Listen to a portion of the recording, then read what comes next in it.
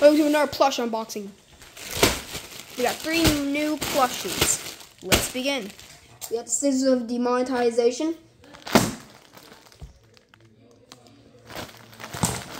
We got it. Oh, these are all I've ever wanted. Okay. Okay. So we got three plushies and oh. Okay, I really like these. Okay, no. Um, so, okay, I was gonna say, normally when I get stuff, they're normally official, but my PVZ plushies aren't official.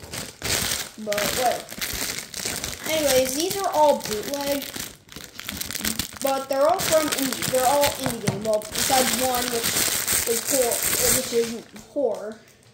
And oh my god, this guy's so soft. Of course, this is a bootleg, so I don't really have highs. Here's Cuphead. So yeah, here's Cuphead. He um, he's very nice for for a bootleg.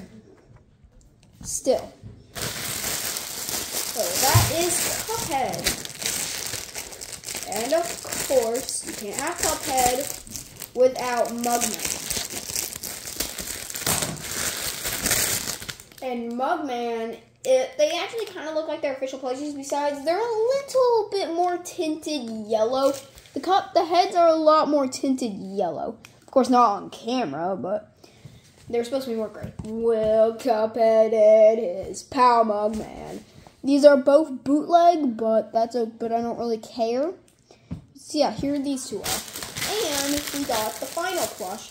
It is from a horror mascot horror horror game on um on mobile made by the creators of Evil Nun. It is it is Rod from Ice Cream. This guy's very nice. Very nice. Here is. He's significant he's significantly small, like here he's compared to Mugman. He's um kind of small. They're all the same size. They're pretty much all the same size, but that's okay. He also is kind of yellow, even though that's supposed to be white, but that's okay. It's a bootleg plush. What do you expect? Anyways, that is it for this episode's plush unboxing. Yay!